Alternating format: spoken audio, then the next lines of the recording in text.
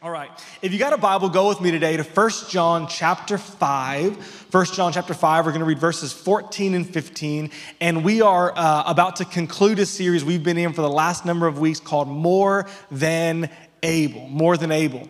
And in case you haven't been here, I'll just catch you up. We've been talking in this series about how we really do serve a God who He is more than able. Uh, the Bible says in Ephesians chapter 3, verse 20, if you've been here, you probably already have it committed to heart because we've read it every single week. But Ephesians 3:20 says, Now to him who is more than able, or to him who is able to do exceedingly and abundantly above all that we think, all that we ask, according to the power that works in us. In other words, Paul writes, we serve a God who he is able. And I've said it every week, but part of why we gather is just to strengthen and encourage each other. And so I'm just going to say it again. Uh, can, can I encourage you wherever you are today, you're not stuck. We've been saying it every single week, but wherever you are today, whatever circumstance, whatever need you have, uh, whatever fear you're carrying, whatever thing in your life that you feel like is an insurmountable mountain, can I just say that you are not stuck? That God is a healer, God is a provider, God can work miracles. We serve a miracle working, wonder working, all powerful God. And the Bible says he is more than able. There is nothing that limits our God. The Bible says that with God, key words, with God, all things are possible. So just think for a second, whatever you're facing today, uh, whatever you're carrying, whatever thing in your life, just know today that with God, all things are possible.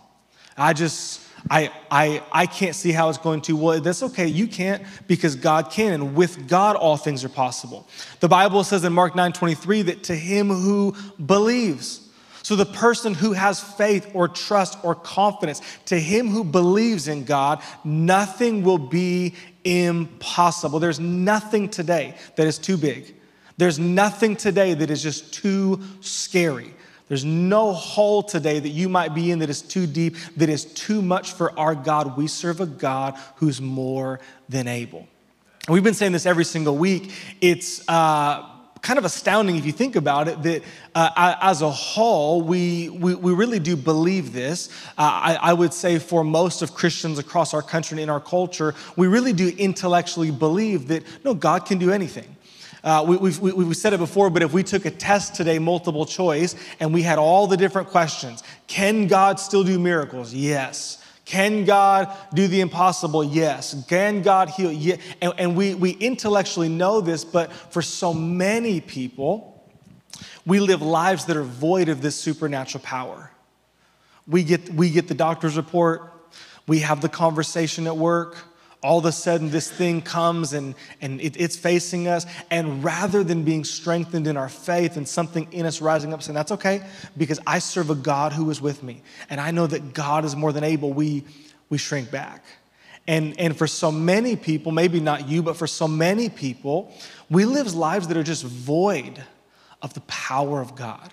Oh, it's available to us. We're in a covenant with God. God desires, it is His will to move in our life. But for so many people, our life is just void of the freedom that God can bring, of the deliverance that God can, can bring, of the power and the supernatural, miracle, wonder working presence of God that's available to every single one of us. Oh, God is more than able, but the question is, am I experiencing in my life the power and presence of God in the way that God wants to and desires and promises in the scripture that he that he will will do.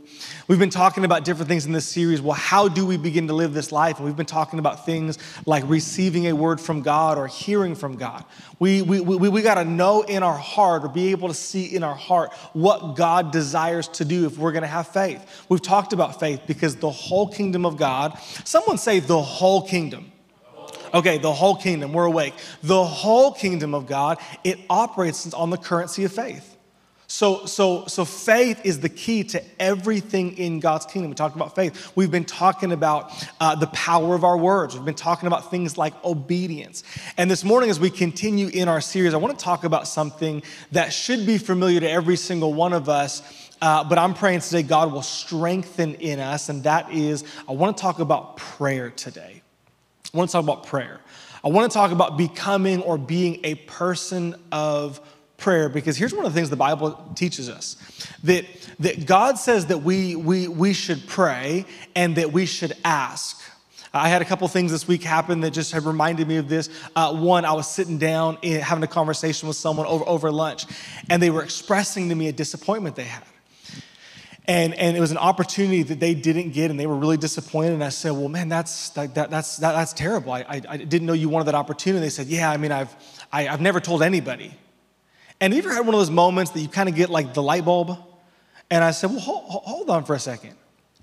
You've never told anybody that that's something your heart really desires? What, why is there this big disappointment? Buddy, I bet they didn't even know that's something you'd be interested in. Had another conversation with someone, they said, you know, it's, it's amazing as I think about uh, uh, prayer. We were talking about the sermon for today, and they said, you know, we had this need in our life for two years. And for two years, we were struggling and we were hurting and we were kind of in pain. And, and then it occurred to us, we, we're not praying.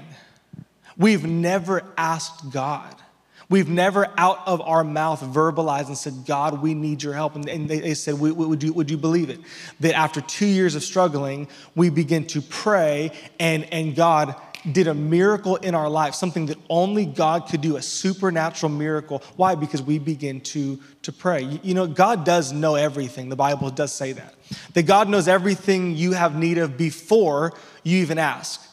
The Bible says God, right now, He knows every fear, every concern, all the weight you're carrying, all the need you have, and all the desire in your heart. God knows all of it before you even ask. And yet, the Bible teaches us that we must be a people who, who pray. What does, the, what does the book of James say? That you have not because you, because you ask not. And I, I just wonder if there's anything in our life today that we really do need God's help. And we really do need God to, to come to our aid. We really do need the power and the presence of God, but we've yet to open our mouth and begin to, to pray. Can I ask you a question rhetorically this morning? But are you praying? I, I don't mean before dinner. I don't mean just, you know, a quick nod to God. I, I, are you praying? That thing you have need of, that thing you're carrying, are you praying because we're going to see today that when we pray, we serve a God who he answers prayer. Can I get an amen? 1 John chapter 5, verse 14, we're, going to read it today, two scriptures. 1 John 5, 14 and 15. It says this, reading from the New King James Version. It says, Now this is the confidence that we have in him, that if we ask anything according to his will, he hears us. And if we know that He hears us, whatever we ask, we know that we have the petitions that we have asked of Him. Go back to verse 14. I want to read it one more time. It's short, and so for good measure, let's just read that one more time.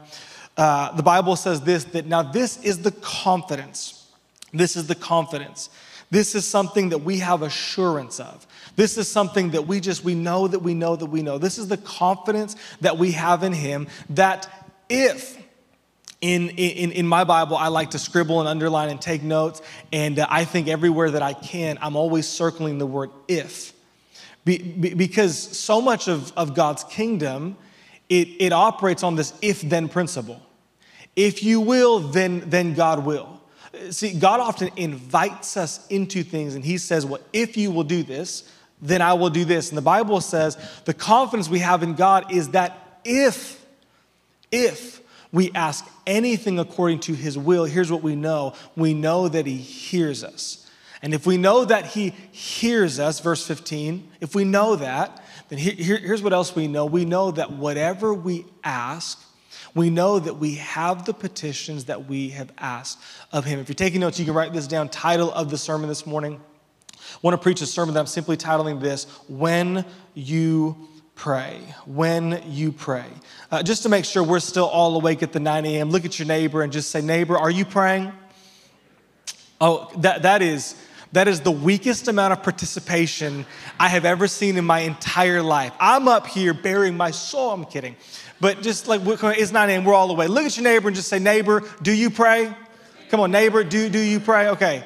Some of, you, some of you are like, this is why I sit alone, so I don't have any neighbors. I don't have to do these silly things you ask of me. I, I, I think for, for, for so many people, we, we think about prayer as something that is mysterious. And, and, and while there may be mystery in prayer, I, I don't think that prayer is actually that mysterious.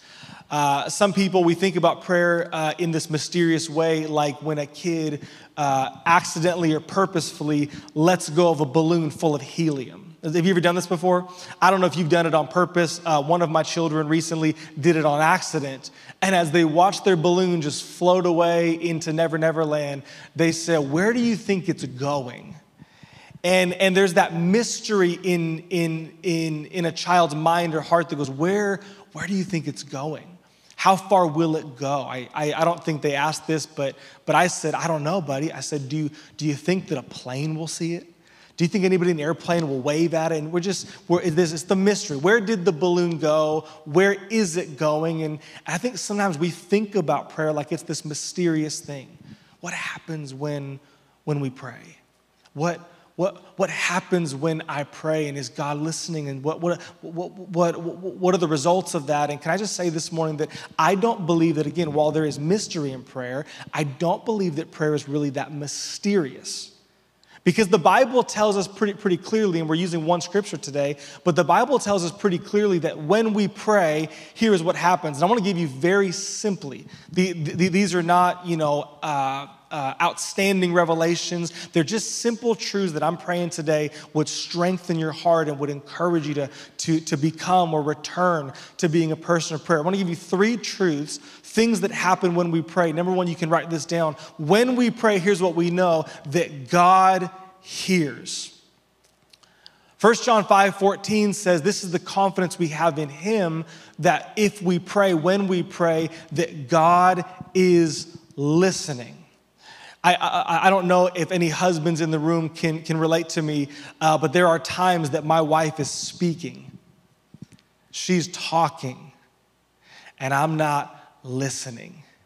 This, this happens on uh, most weekends that I, I'll, I'll think, all right, let's settle in for a, for a relaxing weekend. And my wife will go, Do you not remember the 19 obligations we have and the four things I said we got to do? And I know I, I obviously wasn't, wasn't listening.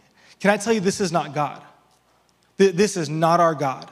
The Bible tells us very clearly that when we pray, our God hears. Our God hears. The Bible says this in Psalm chapter 34, verse 15. I'll read it to you from the screen. It says, The eyes of the Lord, they are on the righteous, and his ears are open to their cry. The Bible says the same thing. It's a quote from this psalm, but in 1 Peter chapter 3 verse 12, here's what it says, "For the eyes of the Lord, they are on the righteous, and his ears are open to their prayers." His ears are open to their prayers. Can I just encourage you today that when you pray, God hears? That when you pray, your prayer does not go to some distant never, never land. No, your prayer goes from your heart, from your mouth to the ears of our God. And here's what 1 John 5:14 says, this is the confidence we have in God that if we pray anything according to his will, pa- pause right there. Because I think sometimes this is a, a, a. I don't know if it's ever been a hang up for you, but, but I know it's been a hang up for me before. That, that I'll pray and I'll pray my heart out.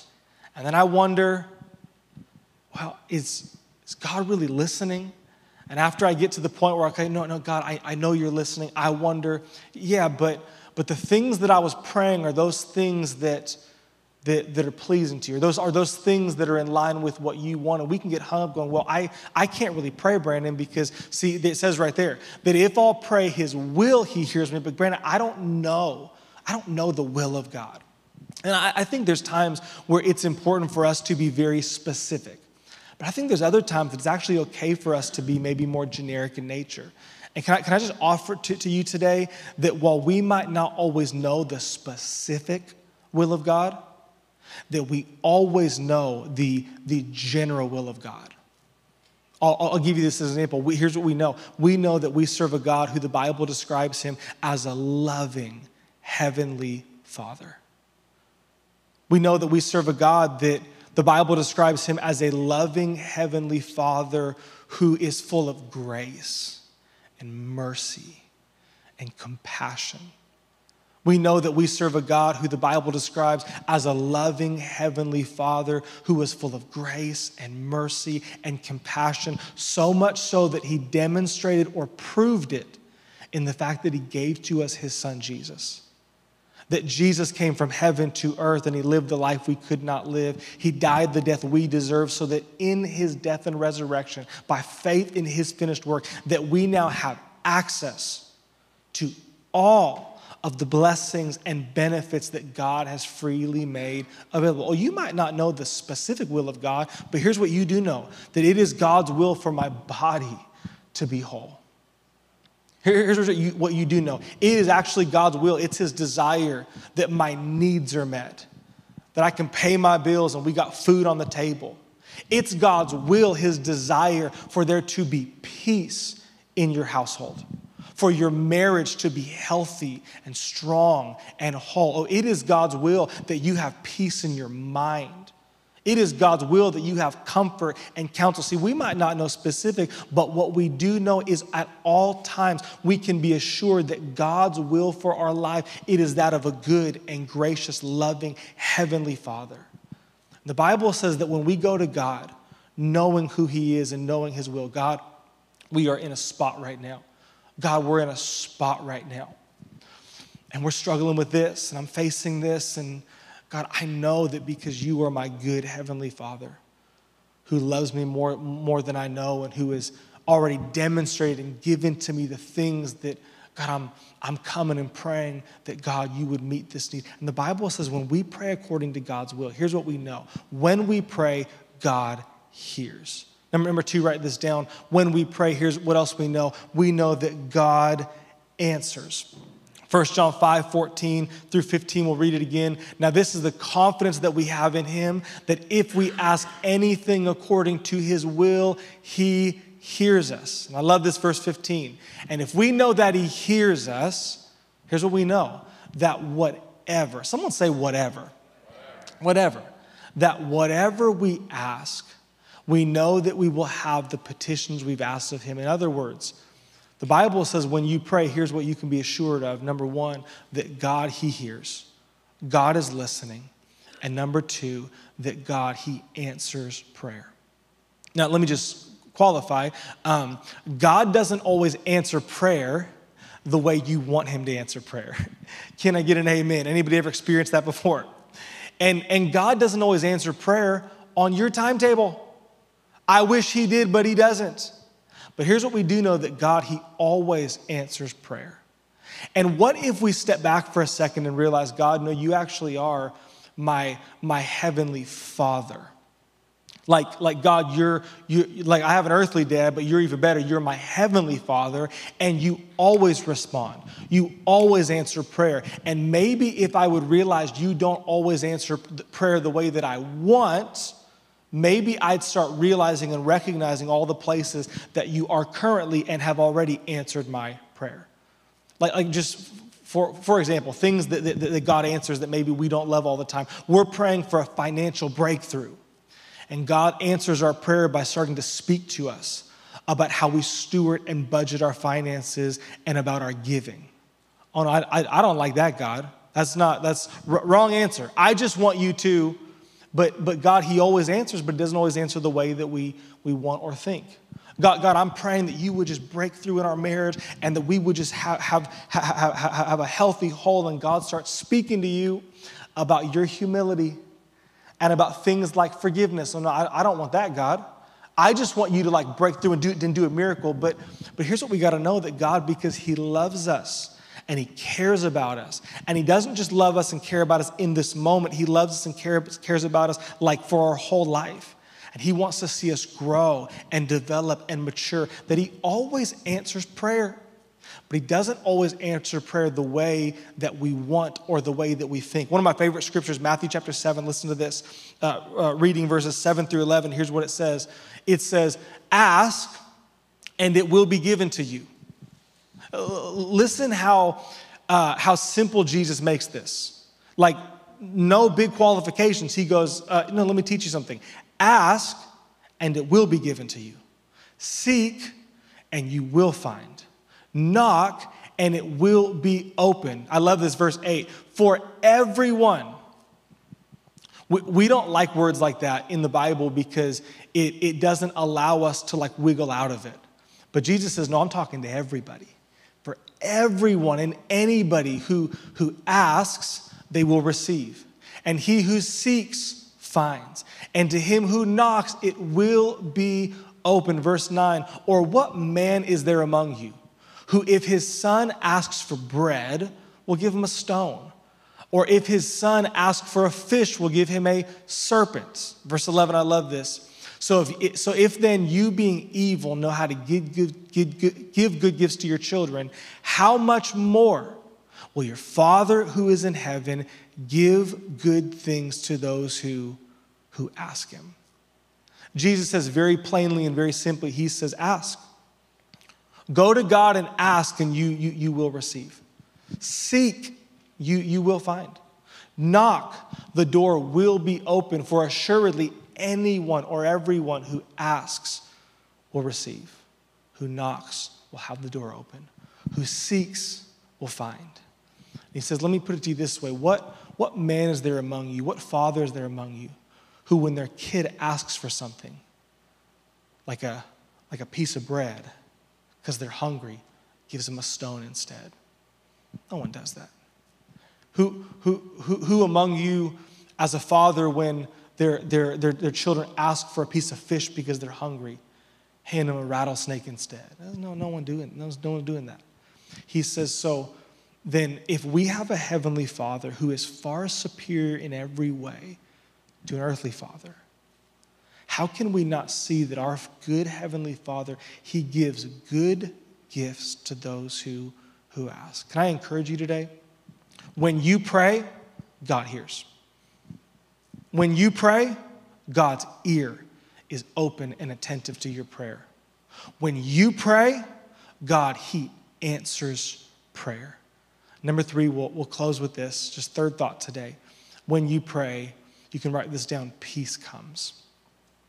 When you pray, peace comes. Here's what Philippians chapter 4, verse 6 through 7 says. Paul writes, and he says, Be anxious for nothing but in everything by prayer and supplication. With thanksgiving, let your requests be made known to God. And the peace of God, which surpasses all understanding, will guard your hearts and minds through Christ Jesus. Can we read that one more time? The, the Bible says, Be anxious for how many things? For nothing. Did you know that God would never ask you and I to do anything that is impossible? Uh, God, would never ask us to do something just to like egg us on. He's not going to ask us to do something if there's not possibility behind it. And yet, for so many of us, we go, be anxious for nothing. That's impossible.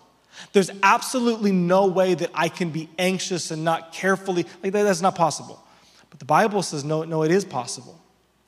But it's possible not through willpower or positive thinking, it's possible through prayer. Be anxious for nothing, but instead in everything. Someone say everything. Uh, rhetorically, can I just ask you again are you praying? Are you praying about everything? Or are you just praying for dinner? Are you praying about everything? Or, or do you just pray when, when, when, when you're in a panic? The Bible says, no, be anxious for nothing, but in prayer, in everything, by prayer and supplication, with thanksgiving, let your requests be made known to God. Verse 7 And the peace of God, which surpasses all understanding. In other words, you know what Paul says? He says, There is a peace that's available to you that doesn't even make sense in your human intellect. There's a peace that's available to you that when you add up all the circumstance and when you take full, account, you don't know why you have the peace you have, but you have it because it's supernatural. Jesus said, Peace I leave you with, not as the world does, a peace that only I can offer. There is a peace available to you and I that is supernatural in nature that the world cannot give. The Bible says it happens through, through prayer. The peace of God, which surpasses all understanding, it'll guard your hearts and your minds in Christ Jesus. Uh, moms and dads, have you ever had a parenting fail before? Something you did that just did, not work out? Uh, our daughter, Bethany, she's 18 months old, something like that. I, am not great at math, so somewhere around there. And um, she's just like in the last week or so gotten where in our in, in a neighborhood pool, she'll put the little arm floaties on, and we could put her in the pool and just like push her and she'll just go swim. It's amazing. We can sit there and not have a baby. It's, it's phenomenal. Uh, if you're not rejoicing, we, we are rejoicing in our hearts. So, so yesterday we, we were at someone's birthday party at the pool. And um, I, I wasn't thinking all the way. And, and my wife didn't say, Well, you put her in the pool. And so I picked her up by her floaties and I walked over. And rather than setting her in the pool, you already know, I dropped her in the pool. And that little girl's got some weight on her, can I just say? Because when she got like two feet under and then popped back, I went, oh. And she, she goes, Iote, Iote. And, and, and I was thinking this morning, you know, there actually is a way in life for people to be looking and you go, I'm okay. I'm okay. See, everybody at the party was like, I'm in my in my heart, I was like, oh my gosh. I, am like, yeah, it's not a big deal. It's fine. And she's, but but but there's a way where life is looking, going, there's no way you're gonna be okay. I'm I'm, I'm okay. Why? Well, be, be, be, because I'm praying. the Bible says that when I pray, when I choose to be anxious about nothing but to pray about everything, that when I pray, the peace of God, which surpasses all understanding, it guards my heart and it guards my mind. Why? Be, be, because I know something. I know that God hears me, and I know that God answers prayer. I, I can tell you, I've experienced it before where I am just, I'm just a wreck. But, but I go pray. And I begin to pray and ask God and take my need before God. And I don't know how to explain how it happens or when it happens, but something in me, this confidence grows. Oh, God, I'm thanking you. And I know today, God, you're listening. I'm not just praying to, to some empty sky. I'm not praying to the clouds. No, God, you're listening and you hear me. And God, I don't know when you're gonna do it, and I don't know how you're gonna do it. I don't know what your answer will be, but God, here's what I know that you've promised you will never leave me, you will never forsake me, and you've promised that you answer prayer. And somewhere in that confidence that God hears me and God answers, the peace of God comes and it just guards my heart all of a sudden the anxiousness and the worry and it just and the peace of God comes that surpasses understanding. And something in me, like my little girl, dropped two, three feet under the water, goes, I'm okay. I might be soaking wet, but I'm okay. I, I, I might have got dunked three feet, but I'm, I'm, I'm okay. See, peace is possible when we, when we pray. How, how, how do I see, Brandon, God show up and do the miraculous in my life? Can I just encourage you? You start praying. You start praying. Matter of fact, here, here's the last thing that I, I want to give you, and it's not a point, but you could put a four in front of it, and it could be a fourth point. But here, here's just kind of a closing thought that be, because we know that God hears and God answers and peace comes, we should pray without ceasing. Here, here's what the Bible says in Luke chapter 18. Uh, you can go and read the entire parable, uh, but we're just going to read the first verse. It says, Then Jesus spoke a parable to them that men always ought to pray and not lose heart. You, you can go read the whole parable, and Jesus talks about how we serve a God. We have a heavenly Father who answers prayer. And the Bible says he spoke a parable, and the point of it was that men always ought to pray and not lose heart. Here's the Bible says in Thessalonians. I believe it's uh, Thessalonians chapter 5, 1 Thessalonians chapter 5, something like that. Here's what the Bible says that we should pray without ceasing. Let me get you the actual scripture reference for a second in case you don't have it. Uh, uh, 1 Thessalonians 5:17 it says that we should pray without ceasing. Because we know that when we pray God hears. Oh God is listening. Because we know that when we pray God he answers our prayer. Because we know that when we pray that the peace of God guards our heart, oh we should pray without ceasing. Like Jesus said, we should be men and women who we always pray and we do not lose heart because we have confidence in our God. Can I get an amen? Well, here's, here's what I want to do. Uh, some of you might be thinking, oh boy, 1003, like that was, was that the close? Because my, God, you do answer prayer. I prayed for a shorter sermon today and you did it. Um, uh, that must have not been, been the will of God. Um, but I, I, as we close, here's what I want to give you just three statements. And they're not going to be on the screen. And so if you got a pen, you, you got a pencil, highlighter, crayon, uh, you got your phone, get, get something out. I want you to write these down because um, I'm to give you just three, three statements because you might be saying, well, Brandon, I don't really know how to pray. I don't really know how to pray. And uh, a week ago, we were at summer camp, and one of the speakers, uh, he, he kind of did this exercise with all the campers and um, we won't do it in the same way because he went around the room and people were saying things in the microphone, and we, we won't do that. Um, I can tell by your lack of response to your neighbor, uh, some of you might be afraid if I start walking around with a microphone. So we're not doing that. Um, but, but I just want to give you these three or these four statements, and, and I want you to t- take a second to write them down, but I want you to fill in the blank. And, and I actually want you to fill in the blank like right now. So uh, you don't have to have a perfect answer, but just I, I, want you to, I want you to fill in the blank. But, but the first one is this God, I'm thankful for fill in the blank.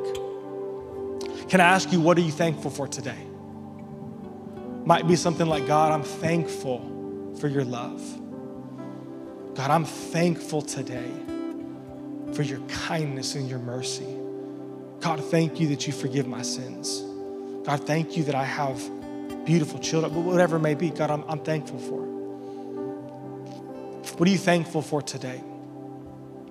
Second statement you can write down is simply this God, I'm concerned about. I'm concerned about. Lord, this morning, if I'm being honest, I'm concerned about our finances. If I'm being honest this morning, I'm really concerned about what's happening at work. I, there's nothing in me that wants to get up and go to work tomorrow because I'm concerned about what's happening at work. God, if I'm being honest, I'm concerned about my children because I don't know if they keep going the way they're going, if they're going to end up following you. I, am concerned. What, what concern are you holding this morning? Number three, write this down. God, I need you to fill in the blank. If, if God was standing in front of you today and God was saying, Hey, what is your need? What, what would you ask Him? God, I need you to show up in this area. God, I need you to help us in our marriage. God, I need you to heal my body. Lastly, you can write this down. So, God, I'm asking you to fill in the blank. This is not any kind of specific prescribed prayer pathway. It's, it's, it's rather statements that would maybe help you get going this morning to stop and and remember, the Bible says we enter into his gates with thanksgiving. And so maybe today your prayer is something like this God, I'm so thankful that you love me. God, I'm so thankful that, that you've forgiven me of all of my sins. And even though I don't deserve it, you call me a son or a daughter of God. But God, today as I come before you, I'm concerned about this area of my life. I don't know how we're going to pay this bill. I don't know how we're going to make it through this next season. God, I'm concerned. And God, because I'm concerned, God, I'm, I'm acknowledging today that I need you to help me. God, I'm expressing, I'm acknowledging my dependence. I need you to. And so, God, I'm asking you, would you? And actually, what, what I'd like to do is I'd, I'd like to give you maybe five minutes or so. And I, I would like to invite you today to begin to apply the sermon right now. I, would like to invite you to, t- to apply the sermon and, and to right now in these next number of moments. We're, we're, we're, I'll, I'll lead you here in a second.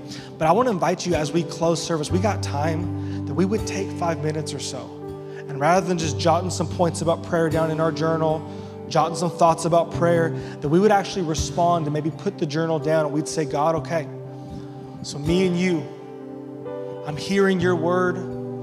I'm hearing, I'm being reminded today that God, when I pray, you hear me and you answer me, and that there is peace that's available to me.